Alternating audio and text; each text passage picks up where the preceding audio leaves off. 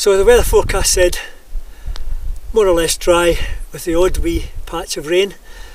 So this being Ollie's second birthday, I thought we'll nip up the cobbler I got a few nice photos and a little bit of videoing done.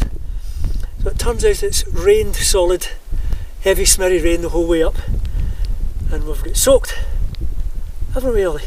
Sure we have, we've been soaked.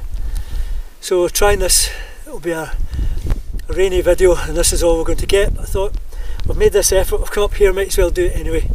So that's us at the cobbler. First time for Ollie, a few times for me. But it's time to get moving again before this wee chap gets cold. You want to go? You want to go? You want to go? What's it? You going? Let's go. Come on. Let's go. Boy. Yes. Good boy.